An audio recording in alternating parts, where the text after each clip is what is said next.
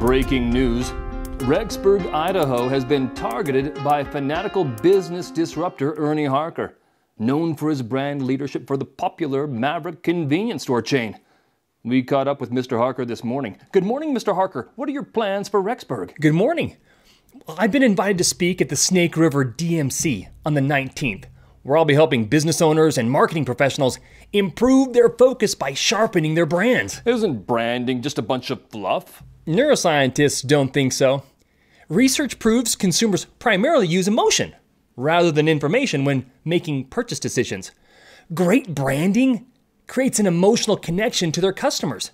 And I'll be in Rexburg on the 19th to teach how to do that. Interesting. I understand admission is free and anyone can sign up at snakeriverdmc.com. That's right.